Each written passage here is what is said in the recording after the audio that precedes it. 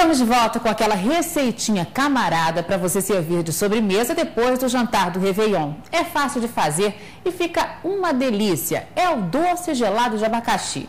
O passo a passo você aprende agora. Anote os ingredientes: 100 gramas de chocolate ao leite, 150 gramas de cookies em pedaços, 350 gramas de creme de leite e um pote de creme de leite fresco uma lata de leite condensado, um pacote de suco artificial sabor abacaxi, nozes para confeitar. O primeiro passo é derreter o chocolate no micro-ondas durante 30 segundos. Misturar com 50 gramas de creme de leite para formar o ganache. Junto com os cookies, está pronta a base da receita, que deve ser levada à geladeira. O segundo passo é o creme de abacaxi.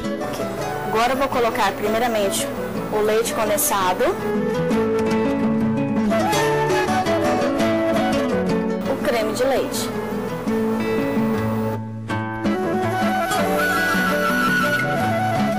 Vamos vir com o suco de abacaxi.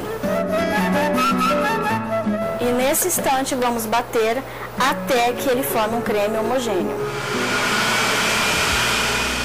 Por último vem o chantilly que é feito com creme de leite fresco.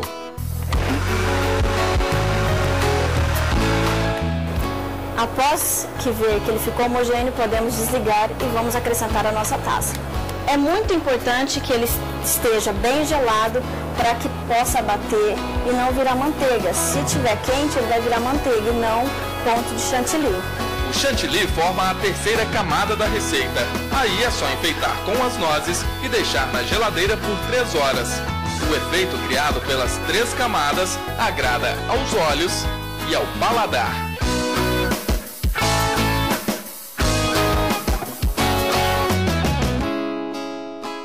E daqui a pouquinho a receita do gelado de abacaxi da Luciene vai estar disponível em nosso portal na internet. É só acessar msrecord.com.br se você quiser copiar a receita.